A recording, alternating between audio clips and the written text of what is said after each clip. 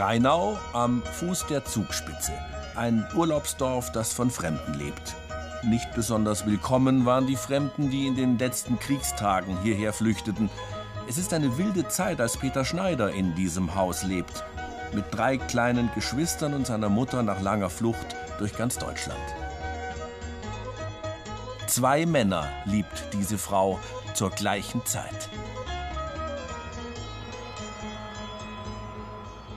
Die Lieben meiner Mutter.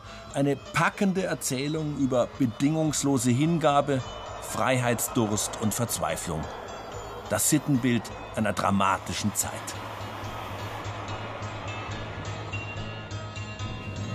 Hungersnot, versprengte SS-Einheiten, die sich in Heustadeln verkriechen, die einrückende US-Armee. Was für eine Zeit, was für ein Stoff. Aber all diese Dramen beschreiben nicht die größte Not der Mutter. Fast taub, mit vorsätzlicher Unempfindlichkeit geht sie mit ihren Kindern vorbei an den Trümmern und Bombenkratern, vorbei an den Lastwagen mit verbrannten und verwesenden Leichen, vorbei an den Toten und den Schwerverletzten. Der Stachel, den sie im Herzen trägt, der an ihrem Lebenswillen zehrt und sie fast umbringt, hat nichts mit dem Krieg zu tun.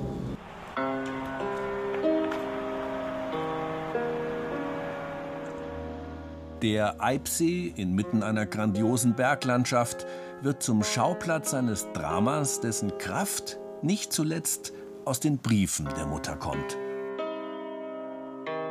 Rückhaltlos, offen und literarisch bestechend schreibt sie über ihre Lieben und das schwere Leben dieser Zeit. Peter Schneider hat das heftige, kurze Leben seiner Mutter aufgeschrieben. Der einstige Wortführer der 68er Bewegung entdeckt mit Staunen und Bewundern die Radikalität dieser Frau.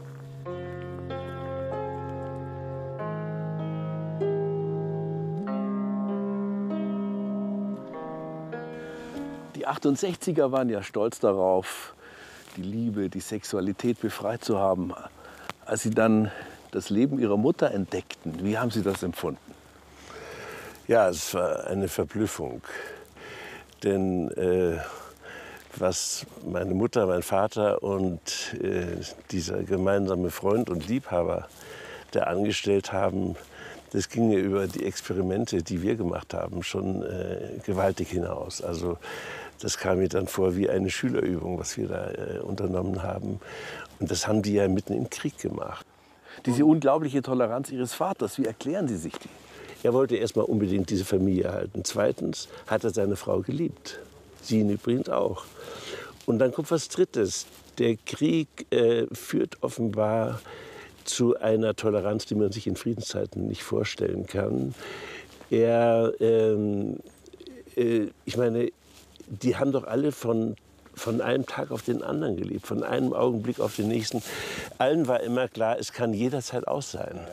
Und das verändert die ganzen Einstellungen. Das Interessante an dem Buch ist aber, dass es sich eben nicht nur um ein Einzelschicksal handelt, so kurios es sich lesen mag, sondern es ist wirklich eine dieser unglaublichen Frauen, die mit vier kleinen Kindern den Krieg überlebt. Und jeden Tag war ein Überlebenskampf, kein Einzelschicksal. So ist es. Ich glaube auch, was man am Schluss sieht, das ist ja dann am Ende eine sehr, sehr traurige Geschichte. Äh, meine Mutter ist am Ende ihres Lebens und das mit 41 Jahren vollkommen entkräftet. Sie, äh, sie kann das immer noch großartig ausdrücken. Also ich habe selten äh, über Verzweiflung, Entkräftung, nicht mehr können, so ergreifende Dinge gelesen wie in den Briefen meiner Mutter. Ähm, das war auch beim Schreiben so. Also ich habe geheult manchmal, wenn ich das gelesen habe und geschrieben habe. Da gibt es ja auch tolle Sätze. Es ist ein scheiß Jahrhundert, schreibt ihre Mutter. Und für die Frauen Sklavenarbeit, nichts anderes. Sie schreibt an einer anderen Stelle, die, die Mutter das dreckbeseitigende Haustier mit Wut. Mit diesem Schicksal hat sie sich nie abfinden können.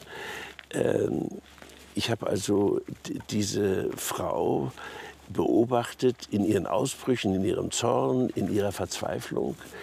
Und wir sprachen von den Millionen Müttern. Es ist ja, glaube ich, bei ganz vielen Frauen so gewesen, die praktisch alleine die Kinder durch den Krieg gebracht haben. Die Männer waren nicht da.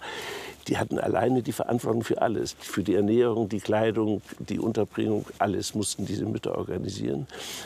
Und äh, dann kamen die Männer geschlagen aus dem Krieg wieder und mussten jetzt ihre Herrschaft wiederherstellen. Dann kommt das puritanischste Jahrzehnt in der Geschichte Deutschlands, ja. glaube ich. Ja. Das ist wiederum das Spezielle ihrer Mutter, dass sie sich in dieser Situation befreit von diesen gesellschaftlichen Zwängen und ja nicht nur diese zwei Liebhaber hat, dass die erste Liebschaft zu Ende geht, dann auch ja, noch weiter. Dann geht's weiter, ja.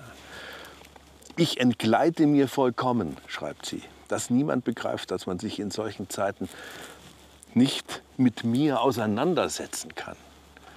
Daneben stehen und mich streicheln, das ist das Einzige, was hilft. Ja, das ist, das ist, das schreibt sie in diesen Phasen der Verzweiflung, wo sie gar nicht mehr aufsteht. Ähm, ich habe mich dann gefragt, haben wir sie denn so eigentlich gesehen, immer liegend in dieser Veranda auf dieser Couch, die praktisch ihr, ähm, ja, ihr Aufenthaltsort wird, von dem sie gar nicht mehr aufsteht. Ich kann mich nicht erinnern, weil wir haben unsere Mutter ständig in Bewegung erlebt. Die Kinder sind ihr entglitten, einer anderen Macht verfallen. Und das ist nun eine interessante, fast romanhafte Figur. Mhm. Willi, ein Halbwüchsiger, ein paar mhm. Jahre älter, als sie selbst damals waren, der verleitet sie zu stehlen, sie ja. und auch ihre Geschwister. Der verspricht ihnen, ihnen das Fliegen beizubringen. Ja. Der schwärmt etwas von einem Erzengel Michael, mit dem er da in engster Verbindung stünde. Eine merkwürdige, spukhafte Geschichte, aber damals sehr real. Ja, äh, ich, ich wundere mich auch beim Schreiben, wie kann man, es, es, fällt einem ja schwer, das zu glauben. Auch, glaube ich, dem Leser fällt es schwer. Äh, wie kann man diesen ganzen Unsinn glauben? Aber Kinder leben in diesem Alter in einer halb mythischen und halb realen Welt. Jeder, der Kinder gehabt hat, weiß gerade dieses Alter mit acht. Und äh, wir haben dem Willi das alles geglaubt. Wir haben dann, weil er, auch weil unsere Mutter wahrscheinlich zu selten da war, wir sind ihm gefolgt haben die Speisekammer leer gestohlen und meine Mutter war verzweifelt und wollte nicht recht glauben, dass wir das waren, hat das Kindermädchen beschuldigt. Wie viele eigene Erinnerungen konnten Sie noch verwenden beim Schreiben? Äh, Sie sich, können Sie sich erinnern an Hunger?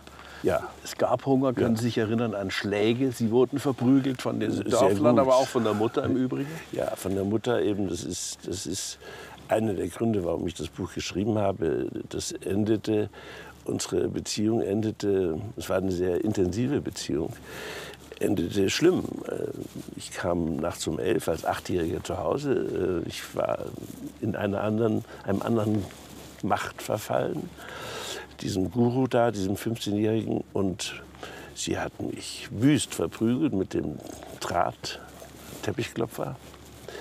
Und am nächsten Tag, ich habe sie gar nicht mehr gesehen, sie fuhr weg und vier Wochen später war sie tot.